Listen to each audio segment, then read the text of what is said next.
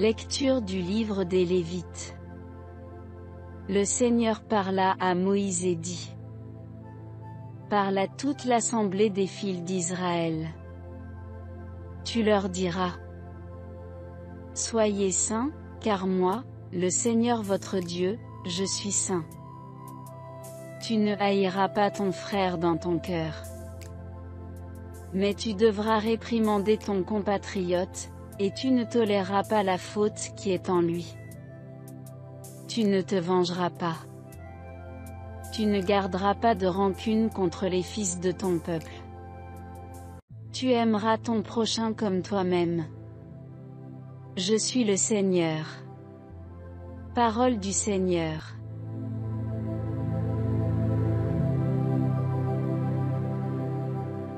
Bénis le Seigneur, ô mon âme. Bénis son nom très saint, tout mon être. Bénis le Seigneur, ô mon âme. N'oublie aucun de ses bienfaits. Car il pardonne toutes tes offenses et te guérit de toute maladie. Il réclame ta vie à la tombe. Et te couronne d'amour et de tendresse. Le Seigneur est tendresse et pitié. Lent à la colère et plein d'amour. Il n'agit pas envers nous selon nos fautes. Ne nous rend pas selon nos offenses. Aussi loin qu'est l'Orient de l'Occident. Il met loin de nous nos péchés. Comme la tendresse du Père pour ses fils.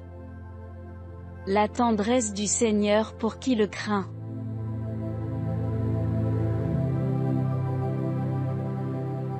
Lecture de la première lettre de Saint Paul apôtre aux Corinthiens. Frères, ne savez-vous pas que vous êtes un sanctuaire de Dieu, et que l'Esprit de Dieu habite en vous? Si quelqu'un détruit le sanctuaire de Dieu, cet homme, Dieu le détruira, car le sanctuaire de Dieu est saint, et ce sanctuaire, c'est vous. Que personne ne s'y trompe. Si quelqu'un parmi vous pense être un sage à la manière d'ici-bas, qu'il devienne fou pour devenir sage. Car la sagesse de ce monde est folie devant Dieu.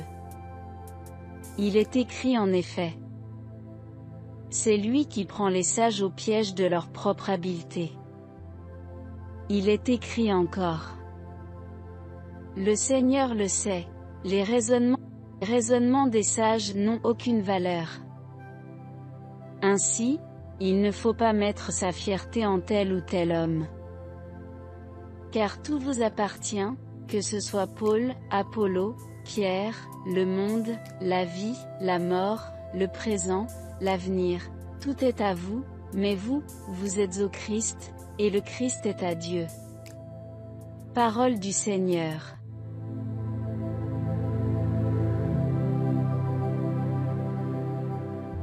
Évangile de Jésus-Christ selon Saint Matthieu. En ce temps-là, Jésus disait à ses disciples. Vous avez appris qu'il a été dit, œil pour œil, et dent pour dent. Eh bien, moi, je vous dis de ne pas riposter aux méchants, mais si quelqu'un te gifle sur la joue droite, tends-lui encore l'autre. Et si quelqu'un veut te poursuivre en justice et prendre ta tunique, laisse-lui encore ton manteau. Et si quelqu'un te réquisitionne pour faire mille pas, fais en deux mille avec lui. À qui te demande, donne, à qui veut t'emprunter, ne tourne pas le dos. Vous avez appris qu'il a été dit, tu aimeras ton prochain et tu haïras ton ennemi. Eh bien, moi, je vous dis, aimez vos ennemis, et priez pour ceux qui vous persécutent, afin d'être vraiment les fils de votre Père qui est aux cieux, car il fait lever son soleil sur les méchants et sur les bons, il fait tomber la pluie sur les justes et sur les injustes. En effet, si vous aimez ceux qui vous aiment, quelle récompense méritez-vous? Les publicains eux-mêmes n'en font-ils pas autant? Et si vous ne saluez que vos frères, que faites-vous d'extraordinaire? Les païens eux-mêmes n'en font-ils pas autant? Vous donc, vous serez parfait comme votre Père céleste est parfait. Acclamons la parole de Dieu.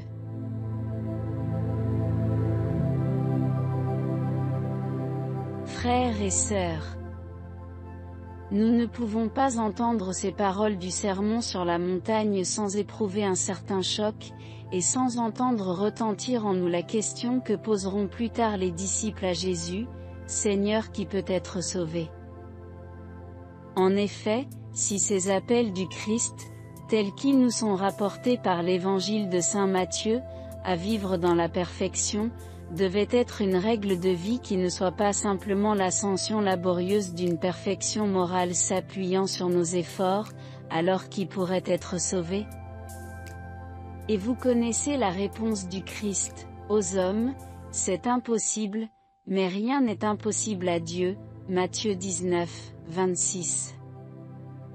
C'est dire que ces appels du Christ à la perfection ne sont pas un appel à un perfectionnement moral perpétuel toujours voué à l'échec, mais une annonce bienheureuse de la grâce de Dieu faite à l'humanité, de pouvoir partager sa vie divine en adoptant dans son comportement quotidien les mœurs de Dieu lui-même. Toutes les générations de chrétiens depuis le Christ ont été confrontées à cette aridité de la parole de Dieu par rapport aux capacités qui sont les nôtres, dont nous éprouvons si souvent les limites. Ils ont trouvé des solutions pour échapper à cette emprise tellement difficile. Une des solutions que l'on partage encore aujourd'hui avec beaucoup de conviction, c'est de présenter ces paroles du Christ comme un idéal admirable, que l'on admire avec d'autant plus de ferveur, que l'on s'en tient éloigné et que l'on n'imagine pas qu'il pourrait changer quelque chose dans notre vie. C'est un idéal mais il n'est pas fait pour les hommes. Ou alors, et ce sera une deuxième échappatoire, il sera fait pour quelques catégories. Ceux que l'appel à la perfection ont extrait du monde pour les conduire au désert mener le combat spirituel, ou celles et ceux qui à leur suite, ont été appelés à la vie communautaire dans la vie religieuse et que l'on a doté de ce que l'on appelait, les conseils évangéliques, impliquant de faire ce que tout le monde ne fait pas, il suffit de fréquenter un peu les communautés religieuses pour savoir qu'il ne suffit pas d'être entré en religion pour être brusquement propulsé dans la perfection du sermon sur la montagne, et pour comprendre que cette perfection, si elle est un don, don de Dieu et une grâce, se reçoit toujours dans un combat de la liberté. Nous avons fait quelques progrès, grâce à Dieu, et nous savons maintenant avec certitude que tous les disciples du Christ sont appelés à la sainteté et que, non seulement les consacrés, mais encore tous les baptisés sont appelés à devenir des saints. Ils reçoivent donc pour eux aussi cet appel du Christ. Vous serez parfaits comme votre Père céleste est parfait. Matthieu 5, 48. Enchanté et enthousiasmé par cette bonne nouvelle, le peuple chrétien tout entier se dit, nous aussi nous allons devenir des saints. Cela prendra peut-être du temps, mais grâce à Dieu, la vie humaine se prolonge et on a gagné quelques années pour arriver au but, alors mettons-nous au travail. Seulement, nous découvrons que ce travail suppose d'abord la foi, c'est-à-dire la conviction que c'est le don de Dieu qui crée la perfection de l'homme, et non la perfection morale de l'homme qui attire la bonté de Dieu. Cette épreuve de la foi dure tout au long de notre vie, jusqu'à son dernier moment. Quand nous sommes arrivés au terme de notre vie, et si nous avons la grâce de nous préparer à ce passage, nous avons encore dans la bouche la parole des disciples, Seigneur, qui peut être sauvé. Mais enfin, la porte est ouverte. Il est légitime à chacune et chacun d'entre vous de porter ces conditions, d'accueillir la grâce de Dieu et de voir sa vie cheminer, avec tous les atermoiements que provoque l'existence, vers cette sainteté et cette perfection à laquelle le Christ nous appelle. On peut considérer que, selon la mauvaise formule de notre expression de la laïcité, Cela concerne la vie privée mais non la vie publique. Vous êtes autorisé à être saint en privé, mais pas en public. En effet, nous savons que la vie sociale se construit sur des combats, où il n'y a de place ni pour la miséricorde ni pour la grâce de la perfection. Insensiblement donc, et sans trop y prêter attention, nous avons intériorisé cette conviction que nous pouvons mener le combat spirituel pour notre vie personnelle, corriger nos défauts, nous laisser emporter de temps en temps par un sentiment généreux, généreux, mais sans que cela ne touche à l'organisation de la société et à la vie publique. Saint Louis, malgré un certain nombre d'erreurs qu'il a pu commettre, a exercé ses fonctions et ses missions royales dans le désir de les conduire selon l'Évangile. Nous avons tous appris que dans son gouvernement, il lui était arrivé de prendre des décisions qui allaient à l'encontre du bon sens politique de ses collègues, concurrents ou ennemis, restituer des biens injustement pris, rendre la justice selon l'Évangile et essayer de garder de la place aux plus petits dans son royaume. Nous préférons à ce modèle assez perturbant, une vision plus cynique de la vie publique et de la vie politique, une vision qui repose exclusivement sur l'évaluation des forces, l'astuce des manœuvres, la compétition des images, la rapidité à s'exprimer sur tous les sujets, surtout si on ne les connaît pas, et la possibilité de se faire connaître quand il n'y a aucune raison que l'on soit connu. Tout ceci ne construit pas un chemin de perfection. Mais on ne peut pas reprocher au personnel politique, entraîné dans ce tourbillon de l'apparence médiatique et de la gestion cynique des situations, de ne pas bénéficier de la sagesse de Salomon, dans la mesure où notre système politique nous rend co-responsables, puisqu'il fait de nous le premier souverain et celui qui délègue sa souveraineté à des serviteurs pour construire le bien commun. Si nous jugeons sévèrement ceux qui nous gouvernent ou qui espèrent nous gouverner, ou qui regrettent de ne pas nous gouverner, peut-être devrions-nous commencer par nous juger nous-mêmes.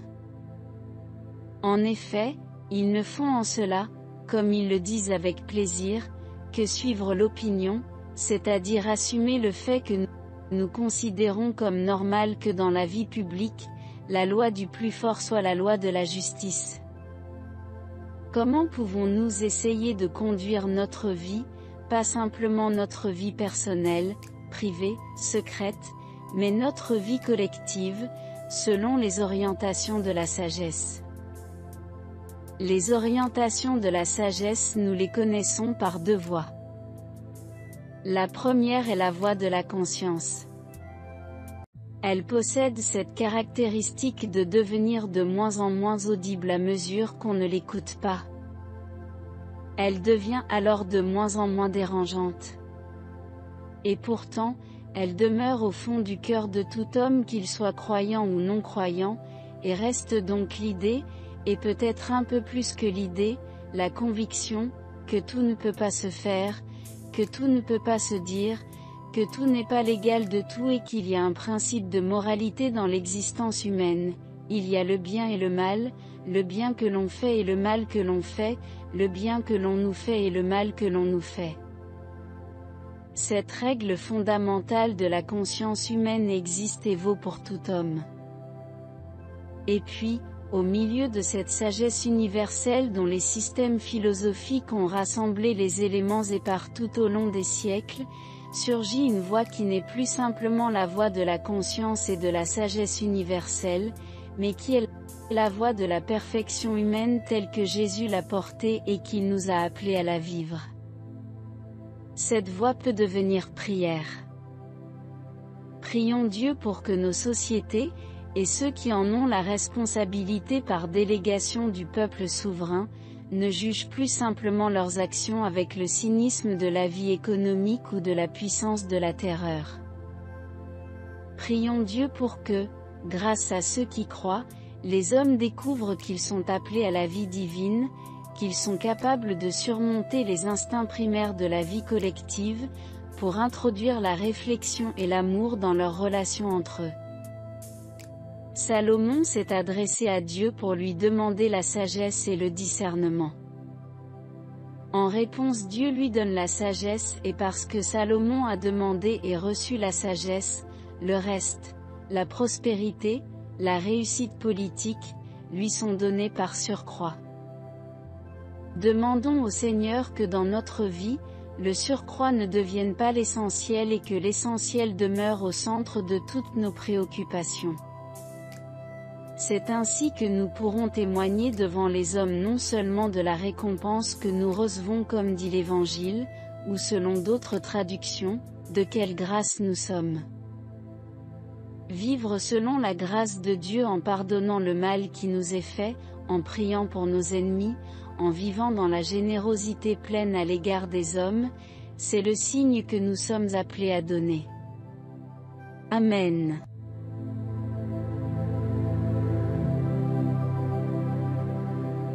Seigneur, faites de moi un instrument de votre paix. Là où il y a de la haine, que je mette l'amour. Là où il y a l'offense, que je mette le pardon. Là où il y a la discorde, que je mette l'union. Là où il y a l'erreur, que je mette la vérité. Là où il y a le doute, que je mette la foi. Là où il y a le désespoir, que je mette l'espérance. Là où il y a les ténèbres, que je mette votre lumière. Là où il y a la tristesse, que je mette la joie. Ô Maître, que je ne cherche pas tant à être consolé, qu'à consoler. À être compris, qu'à comprendre. À être aimé, qu'à aimer. Car c'est en donnant qu'on reçoit. C'est en s'oubliant qu'on trouve. C'est en pardonnant qu'on est pardonné. C'est en mourant qu'on ressuscite à l'éternelle vie. Amen.